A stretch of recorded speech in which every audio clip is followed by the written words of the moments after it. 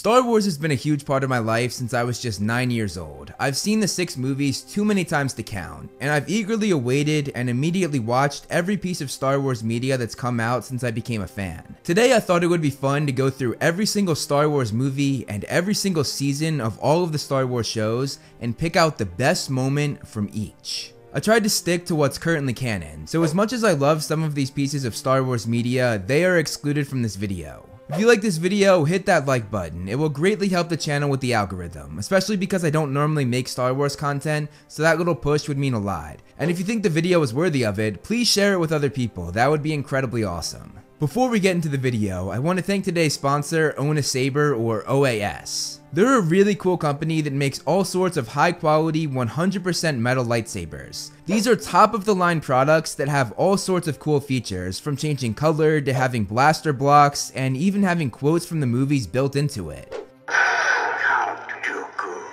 And one of the coolest things about this company is that this July, you can get your lightsaber to come with messages engraved with up to 10 words when you buy the Wrathbearer. You just click the add note section right here before you make your purchase. All lightsabers come with a one year warranty, and right now you get 30% off all lightsabers. And on top of that, if you use code MovieFlame, you get an additional $15 off your purchase. Go check it out, it's all linked down below. It's a really cool company that makes great products, you will not be disappointed. Now that I've said that, let's get the video started. I'm giving you a spoiler warning right now, there are going to be spoilers for all Star Wars content, but I've broken the video up into chapters so you can easily skip over any movies or TV shows that you haven't seen and don't want to be spoiled. The best moment from Vision Season 1 is the lightsaber and hyperdrive combo. When Karre's evil twin sister Am is close to death, he combines his lightsaber with the ship's hyperdrive for the ultimate power. This power gives us an amazing visual as he and his sister connect their lightsabers, and when Karre goes into lightspeed, it destroys his sister's suit, saving her, and splits the ship in two, much like we saw in The Last Jedi. This scene just has such amazing visuals and such a unique look at how different powers in the universe can be combined. The best moment from Vision Season 2 is Lola's double-bladed lightsaber. Darkness is your fate! After being told that darkness is her fate by her former master, Lola realizes that she has both the light and the dark in her. Light and darkness are part of the painting. Part of me. And this is shown in the most beautiful animation I think this show has, which is already an incredibly high standard considering how many amazing art styles they have in this show. Lola then pulls out her weapon and her once single-sided lightsaber turns into a double-bladed saber with both the light and the dark, and she uses it to kill her former master in a very poetic way. I know Sith. The best moment from Tales of the Jedi Season 1 for me is the first time Dooku went dark. After saying that he didn't serve the Senate but the people of the Republic, You serve the Senate. No. We serve the people of this republic. During the fight, we see Dooku look at those very people suffering, and we get a close up of Dooku's face, which goes from thinking to angry, and we see the very moment where he decided to go dark. As he force chokes the man, his Padawan Qui-Gon tries to stop him, but Dooku, knowing that what he was doing was wrong, force pushes him away. Dooku tapping into the dark side makes him unstoppable, taking everyone down. Meanwhile, Qui-Gon rushes to ensure his master doesn't take the man's life. Save your father. What? Go now. And only when Qui-Gon touches Dooku's shoulder does he let go, and the look on Dooku's face shows that he was horrified at what he had just done. But this moment shows a theme throughout the show that Qui-Gon was the only thing tying him to the Jedi Order, and later on in the season, once Qui-Gon is gone, that's when Dooku turned to the dark side, all started in the second episode of this season that I think is the best moment. Episode 1 had a lot of cool moments, but the thing that everyone thinks of when they think of this movie is of course the duel where Darth Maul fights Obi-Wan Kenobi and Qui-Gon Jinn. However, when I went into this video, I refused to count just a single lightsaber duel in general as a best moment, because I've already made a video on that. For this video, it has to be a specific moment from that fight, and the moment I'm choosing for the Phantom Menace is when Obi-Wan went beast mode. It was a level of lightsaber combat that we had never seen before, and I honestly think that this 10 second clip has some of the best choreographing in the franchise. It was insane to watch this as a little kid, and I still feel the same way even today. But going past just the actual moves and choreography, this moment holds so much emotion to it. Obi-Wan had just watched his master get killed by a Sith Lord, a group of people who he believed to be extinct. The drive we see from Obi-Wan here is pure passion, sorrow, and even anger, which Jedi aren't necessarily supposed to feel, which only adds another layer to this. The best moment from episode 2 is when the Jedi Knights reveal themselves. Mace Windu comes in, holds a lightsaber to Jango Fett's throat, and he faces Dooku, a man who betrayed him and the Jedi Order, which in itself, like the moment I chose for episode 1, holds a lot of emotion. These two used to be allies and friends, and Dooku took all of that away for Windu and the rest of the Jedi Order. Then, things get real when all these Jedi Knights reveal themselves in the crowd, showing off some stealth on the Jedi's part, and we have this absolutely insane shot as an army of Jedi charge an army of droids. It takes the whole idea of Jedi Knights to a level that we had never seen before. It was a really special moment for me as a Star Wars fan. I think the best moment in the Clone Wars movie for me was Anakin and Ahsoka's talk after the Battle of Christophsis. This was mere hours after Ahsoka had been assigned to Anakin as his Padawan, and after fighting together for the first time, Anakin says a line that begins this amazing friendship. You're reckless, little one. You never would have made it as Obi-Wan's Padawan but you might make it as mine.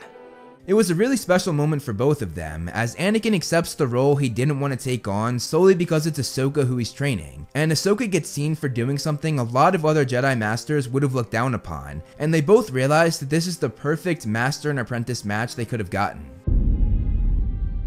The best moment from Season 1 of the Clone Wars is Heavy Sacrifice. The Domino Squad plays such a huge role in this series, so this moment just carries so much weight when looking at what's to come. It's a really powerful scene too. I know what I have to do! Heavy fights to literally his last breath, making sure he had just enough in him to crawl to the detonation button. I don't. He went out like a true hero, and his sacrifice meant so much as it saved all of Kamino and the clone facility, which in turn saved all of Heavy's brothers, both current and those that weren't born yet. The best season 2 moment for me was the reveal of Pre Vizsla as the leader of Death Watch. Governor?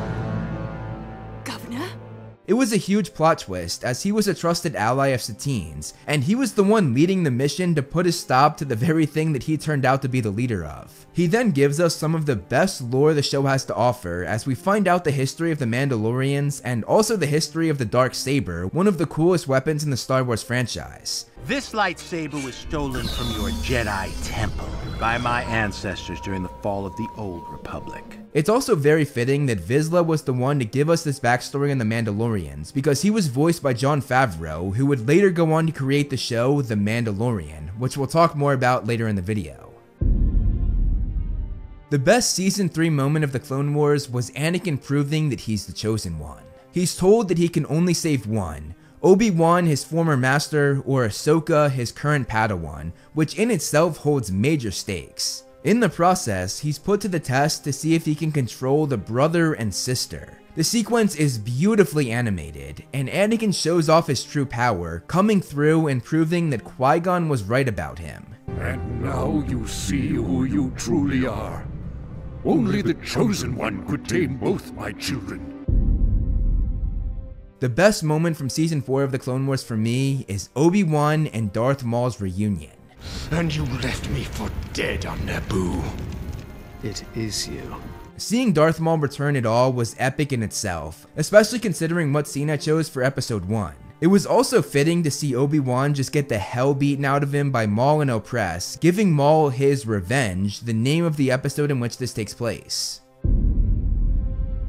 This was a tough one because there are so many amazing moments from season 5 of the Clone Wars from Maul decapitating Pre Vizsla, Ahsoka's epic escape, and the battle on Mandalore. However, I decided to go into a different direction than the most action-packed scene, instead going with Satine's death, what I think is the most emotional scene. It was something I did not see coming, and is probably the most emotional moment in the entire Clone Wars series. Seeing Maul just savagely sit down on the throne while Obi-Wan holds the love of his life really puts the scene into perspective, and Satine's final words break me every time I watch it. I've loved you always. I always will. It was just executed perfectly, especially with the final shot being Maul smiling at Obi-Wan's pain, giving Maul his true revenge on the man that almost killed him. The best moment in season 6 for me was Five's final stand. He was desperate to tell everyone the truth about Order 66, but nobody believed him. I'm not crazy! He was manipulated by the Emperor himself, and he went out trying to save his brothers, killed by the very people he was trying to protect. Don't do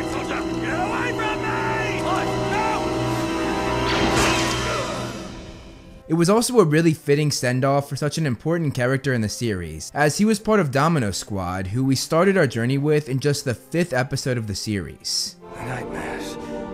They're finally over. The best moment from the final season of the Clone Wars is the start of Ahsoka and Maul's fight.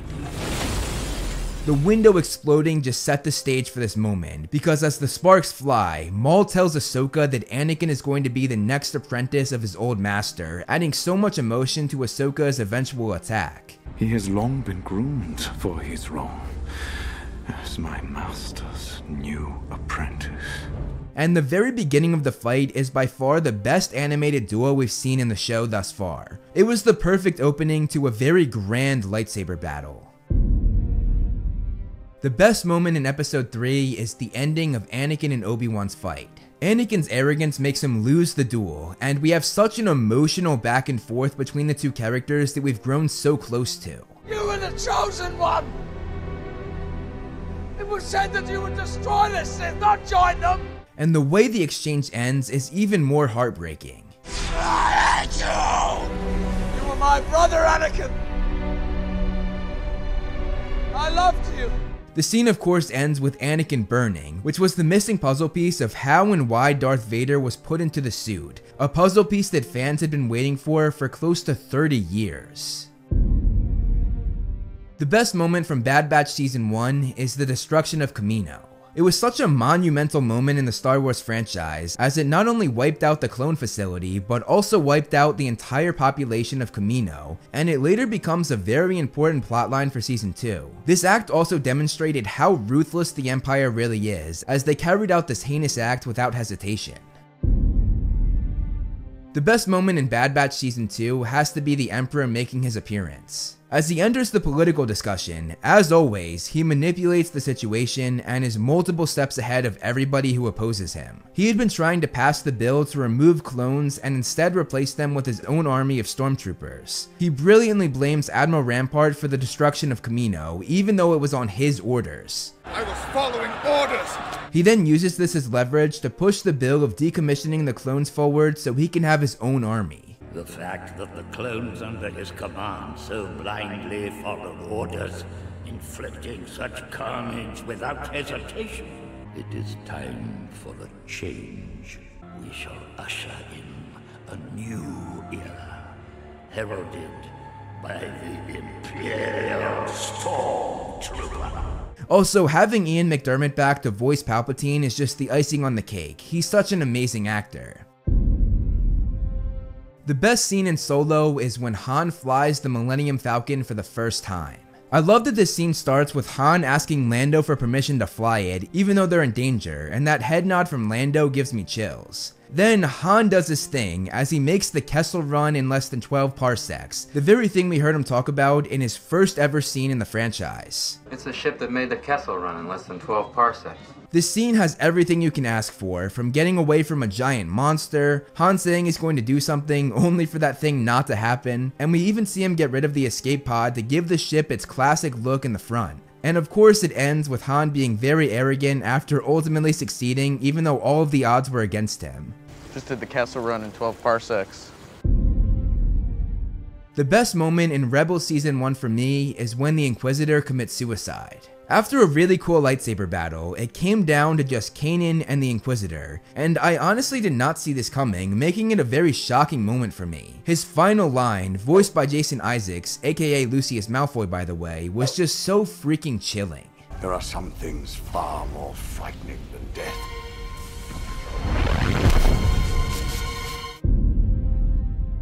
Rebels Season 2's best moment was one of the easiest choices on this list. It was when Ahsoka faced Darth Vader and cut open his mask. When she cut his mask open, it forced her to face her old master for the first time since he became Darth Vader. When he speaks, you hear a mixture of James Earl Jones' voice and Matt Lanter's, who voiced Anakin in the Clone Wars. Ahsoka. Anakin. This changes everything, as Ahsoka tells him she won't leave him like she did when she left the Jedi Order. I won't leave you. Not this time. There's a long pause, and you start to think that Anakin will listen, but then we realize how far gone he really is. Then you will die. It was honestly one of the best moments in all of the Star Wars franchise for me, it's just so powerful. The best moment in Rebel Season 3 was Maul and Obi-Wan's final stand. I've already discussed two other moments that involve these two characters, so clearly this relationship is an incredible aspect of the franchise, and this was the wrap up to their epic story. Obi-Wan only fights Maul when he threatens to go after Luke, which is very fitting. Protecting someone. And when the duel is about to begin, Obi-Wan first does the stance he always did in the prequels as well as in the Clone Wars. Then he does the classic Alec Guinness pose, and then he goes on to do Qui-Gon's pose, paying homage to his old master. After the short fight that I honestly wouldn't even count as a lightsaber duel, Maul dies in Obi-Wan's arms and says that the boy Obi-Wan is protecting, aka Luke, would avenge both of them. He will avenge us. Which is the perfect send-off for Maul. The best moment in the final season of Rebels is Kanan's sacrifice. He had really come into his own during this episode, cutting off his ponytail, accepting his true name of Caleb Dume, and he finally solidified his relationship with Hera, the woman he loved. That's why him sacrificing himself to save her and everyone else was so much more meaningful than it already would have been. Also, he did it in such an epic fashion, the animation making it look even more incredible. He went out as a true hero, and seeing the reactions of the team made this moment even more emotional.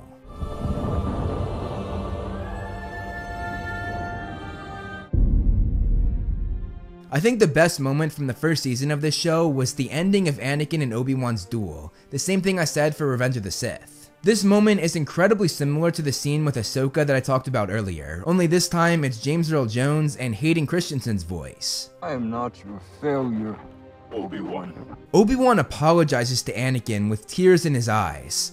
I'm sorry, Anakin. And Vader has the most chilling answer. You didn't kill Anakin Skywalker.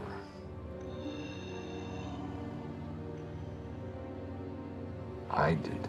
That smile on his face, paired with the tears in Obi-Wan's eyes, it's a very emotional scene. It also very poetically ends the same way their fight on Mustafar ended, as Obi-Wan walks away, leaving the injured Anakin alone in his defeat.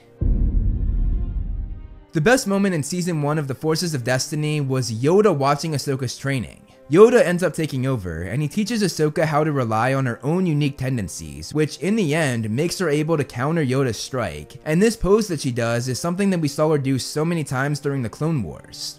This moment also has an interesting look at how masters and padawans can be different. Learn you should from your master, but take what you learn and make it your own. The best moment from season 2 of The Forces of Destiny has to be when Ahsoka trained Ezra. She taught him a valuable lesson, showing him that he must rely on the Force and not just his lightsaber. I don't have any way to defend myself. Don't you? Ezra ends up nailing it in the end, and we see Ezra do the exact same thing that Ahsoka did with Yoda in the moment I chose for season 1, countering the trainer's attack.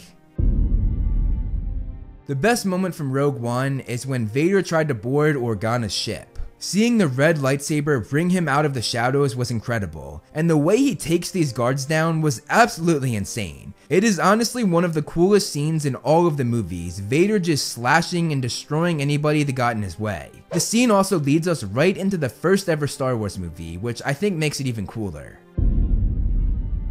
The best moment from the original Star Wars film is when Han came to the rescue during the Battle of Yavin. After everyone thought he had left for good, both the characters and the audience, Han proved everyone wrong, showing that he was the character we thought he was after all. Han's act then allowed Luke to have a clear shot at the Death Star. You're all clear, kid. Now let's blow this thing and go home. And he of course uses the Force to do so, giving us one of the most iconic moments in cinema history. The best moment from episode 5 was without a doubt the easiest choice on this list. It is the iconic moment where Vader told Luke he was his father. I am your father. It was, and possibly still is, the biggest plot twist in movie history. It changed the series forever, it changed cinema forever, and it is honestly one of the most emotional scenes in the entire franchise, especially with Mark Hamill's chilling reaction to this news.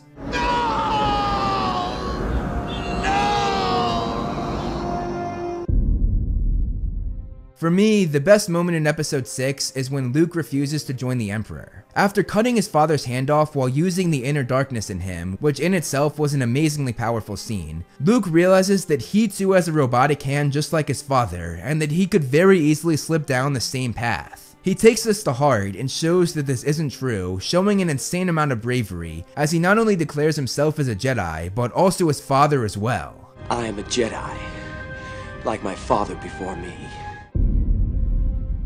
The best moment from The Mandalorian Season 1 is when Grogu stepped up as a hero. He saved everybody during the final fight of the season, using the Force to block the fire. Everyone's disbelief made this even better, and it showed just how powerful Grogu was. I also love how the fire was reflected in the Mando's helmet, and even though he has a helmet on, you can somehow see that he's both surprised and proud. I don't know how they pulled that off. Grogu then absolutely destroys the person coming after them to top off a truly epic scene. The best moment from The Mandalorian Season 2 was Luke's appearance. Seeing his X-Wing fly in made me go, wait, no way. Then when we saw his figure with his hood up, I still didn't believe my eyes. But then when that green lightsaber came out, I got so freaking hype. Seeing a young Luke move the way he did was something really special and was very similar to the way his father moved in Rogue One. Then, when they showed his face and it was a young Mark Hamill, it brought a huge wave of nostalgia for me. It was the perfect way to wrap up this season. The best moment from season 3 was the Mandalorians taking back Mandalore. First off, they were led by Bo-Katan who wielded the dark saber, a very meaningful moment given everything that we saw her go through. And it was just so cool to see all of these Mandalorians go head to head in jetpack combat. It was great action and it had a lot of high stakes as they were literally fighting for their home. On top of that, Bo-Katan, who we have gotten to know so well through the Clone Wars, Rebels, and now the Mandalorian, has everything to lose here in this fight, and she comes through big time as their leader. I think the best moment in Book of Boba Fett Season 1 was Boba killing Cad Bane. They were two of the most badass bounty hunters in the Star Wars franchise, and this show was the first time we saw Cad Bane in live action. The two had a history from when Boba was a kid, which made this mean a lot more. I've known you a long time, Boba. I think they executed this fight perfectly, as there was a ton of emotion behind it, Bane telling Boba that he killed Vanth, an old friend of Boba's. I paid Marshal Vanth a visit. You should have never left him without his armor. And on top of that, Bane was also working for the people that killed Boba's Tusken family. You mean the one that massacred your Tusken family and blamed it on a speed bike gang? So there were a lot of stakes behind this fight, and they executed it perfectly, first having Cad Bane get the first shot off, but had Boba come out on top with his lethal combat skills, eventually stabbing Bane in the stomach, putting an end to an incredible character. The best moment from season 1 of Resistance was Hosnian Prime's destruction. I love how this scene matches up with The Force Awakens with Hux's speech. All remaining systems will bow to the First Order! And will remember this as the last day of the Republic! And it made this moment mean so much more as we see Kaz, our main hero's reaction, because this was his home planet. No! My parents! My home. The best moment from season 2 of Resistance was watching Kylo Ren kill Tierny. This really shows the brutality of Ren, as Tierny simply asked for reinforcements. But I need reinforcements. To add to your failure? No, I simply need support to. The First Order does not tolerate the weak, Agent Tierny. And he just goes on to force choke her through the comms, much like his grandfather Vader did in the original trilogy. The best moment from episode 7 was the first time Rey used the force to call something to her. They did a great job faking us out, making us think that the lightsaber was coming to Kylo, but it instead comes to Rey, and when the music plays, oh my god, it's spectacular.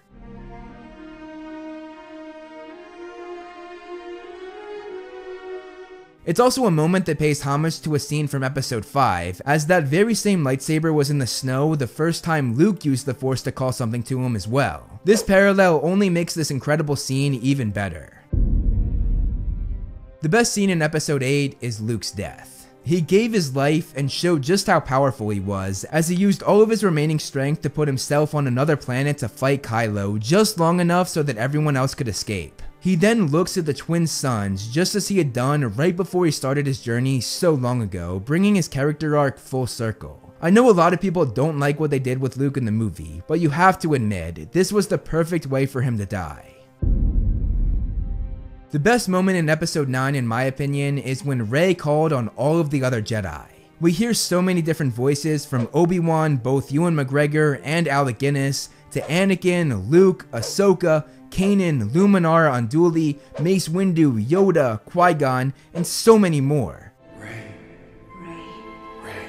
Bring back the balance, Rey. And Rey uses the strength to get up and fight back against the Emperor. I'm all the Jedi.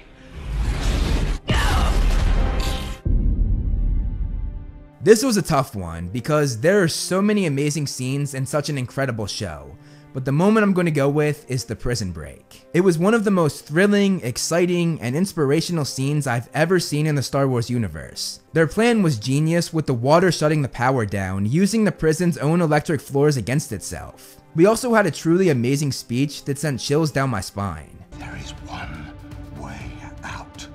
Right now. The building is ours. I also love that we don't know what happened to everyone. Everyone else could have very well died, and we'd never know it, making it truly feel like a real prison escape as we the viewers are from Andor's point of view. And that is the best moment from every single Star Wars movie and season from each show. Again, if you liked the video, hit that like button, and if you think it's worthy of it, share it. I'd also love to know your guys' opinions on my picks, and I'd also love to know your picks. One of the best parts about this franchise is that everybody has different opinions on it, so I'm excited to read what you have to say. That's all I have for you guys this week though, so I will see you in the next video. Thank you so much for watching guys, I hope you enjoyed the video. You can follow me on Instagram to see more of my personal life like my cute dog Loki and some behind the scenes movie flame stuff. I also do similar content on TikTok and Twitter that I do here on this channel, so if you like what I do here, check them out. All the handles are right below me and links are in the description. Over here are my wonderful patrons. If you want to be featured on the next video plus get a few other perks, become a patron today. As always, if you liked the video, hit that like button and subscribe and look out for more great movie flame videos on the way.